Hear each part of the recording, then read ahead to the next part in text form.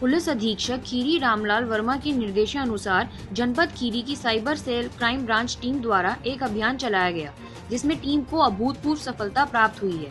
आवेदकों के द्वारा विभिन्न तिथियों में मोबाइल फ़ोन खो जाने के संबंध में दिए गए प्रार्थना पत्रों के आधार पर उक्त टीम द्वारा 20 मोबाइल फ़ोन बरामद किए गए हैं, जिनकी कीमत लगभग दो लाख बीस हज़ार है।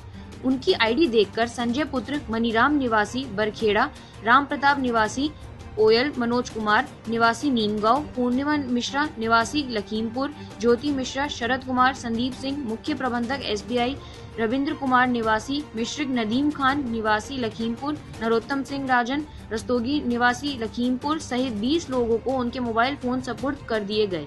साथ ही पुलिस अधीक्षक ने उन सभी से अनुरोध किया कि सब लोग अपने मोबाइल फ़ोन सावधानी से रखें।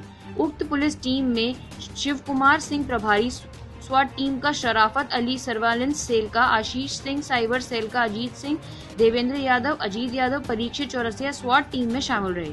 अपने खोए मोबाइल पाकर सभी के चेहरे खुशी से खिल गए, तथा सभी ने इस सराहनीय कार्य के लिए पुलिस की प्रशंसा की। देखिए, लखीमपुर खीरी जनपद में आज करीब 20 मोबाइल जो विभिन्न तिथियों में खोए हुए थे, उनके वास्तविक स्वामी को बुला करके उनको सुपुर्द किया गया। ये सर्वेलांस सेल की मदद से ये फ़ोन रिकवर किए गए हैं। इसके लिए सर्वेलांस सेल बधाई के पात्र हैं। अभी काफ़ी फ़ोन हैं जो लोगों के खोए हुए हैं। उन पर भी अभी काम चल रहा है। और अतिशीघ्र अभी हम शेष जो हमारे फ़ोन हैं, उनको भी हम रिकवर करके उनके वास्तविक स्वामी को वो फ़ोन सुपुर्द करेंगे। ये आज 20 मोबाइल दिए गए, लगभग दो लाख से ऊपर की इनकी कीमत है जो रिकवर किए गए हैं। और अभी काफ़ी मोबाइल रिकवर करना शेष है, हम लोग शीघ्र उनको रिकवर करें थैंक यू